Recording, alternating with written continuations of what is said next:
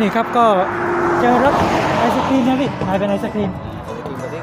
อ๋อก็คือขับขายไปเรื่อยครับผมๆอ๋อส่วนใหญ่ขายในในพื้นพื้นพื้นที่ไหนครับในพื้นที่ฝั่งเราฝั่งฝั่งตก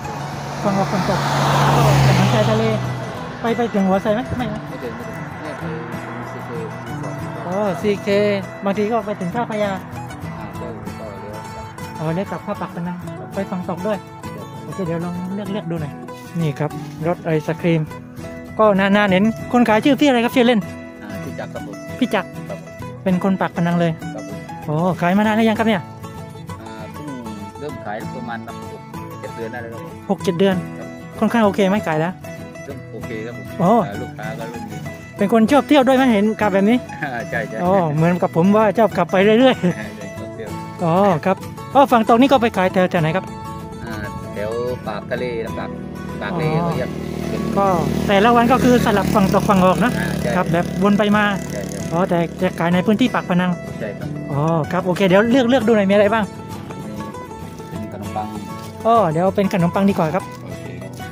ตัวไอศครีมมีกี่กี่กี่ไส้ครับ ไม่มันอ๋อสีขาว อ่ากะทิอย่างเดียวอ๋อเป็นกะทิโอเคกะทิแล้วก็มีข้าวเหนียวไหมตอนนี้นี่ครับผมก็เนี่ยเอาข้าวเหนียวกับถั่วแล้วกันครับ นี่ครับ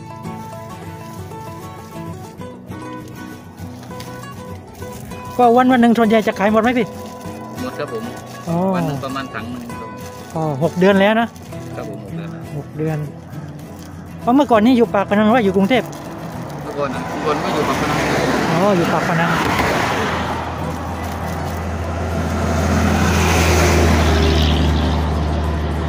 โอ้มีพวกกรงเลี้ยงนกด้วยพี่อ๋อจมนกจมนกอ๋อชอบนก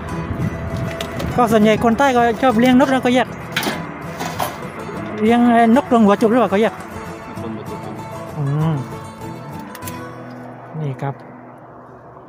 อ๋อ แถวนี้ก็บริเวณกังหันลม ช่วงก่อนมันมีคนมาเที่ยวเยอะนะอ๋อ เมื่อก่อนเคยมาขายที่นี่ด้วยใช่ไหมใช่อ๋อคนเที่ยวเยอะเดี๋ยวตอนนี้เขาก็ปิดอยู่ใช่ไหมใช่ครับผม น่าจะปิดยาวอ๋อก็ร้านของพี่จักร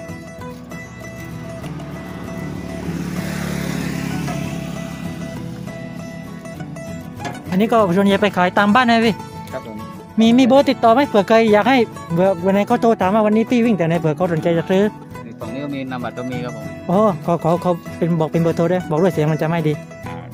ใช่ไหมเป็นเบอร์โทรอะอ่าเขาครับอ่าเอาดาวมาก็ได้เดี๋ยวผมได้นะนี่ครับ โอ้มีนามบัตรด้วยต่อได้ครับผมหาเรื่องนะอ๋อชื่อเจ้านายอ๋อรับเหมาแบบ ใครจะเหมาไปเป็นงานเลี้ยงงานอะไรก็ได้ ได้ครับนี่นะครับ ชื่อร้านเลยใช่ไหมพี่ ร้านร้านเลยครับเจ้านายครับผมเจ้านายไอติมกะทิสดก็เนี่ยครับเบอร์ 0 9 0 8 9 1 7 5 4 1 กับ 0 8 7 1 0 9 7 1 8 6นะนี่ครับก็ดูเบอร์โทรจากนามบัตรนี้ได้เพราะว่าถ่ายไว้แล้ว ได้โอเคครับเดี๋ยวผมลองชิมไอศครีมดู อ่าชิมลยโอเคครับพี่นี่ครับได้มาแล้ว อันนี้ขายยังไงครับ ในสิบบาทครับผมโอ้ขายถูกเนาะครับผมยังมีอยู่นึกว่าสิบห้าสิบบาทนะ สิบ บาทครับเดี๋ยวผมลองชิมดูครับ เป็นก็แยกไส้กะทิใช่ไหมครับตีครับผมกะทิสดครับสูตรโบราณครับผม อร่อยครับ มันไม่หวานเกินไป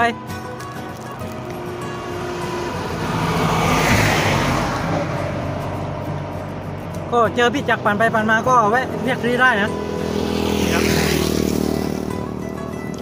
โอเคครับรสชาติใช้ได้เลยครับพี่เยี่ยม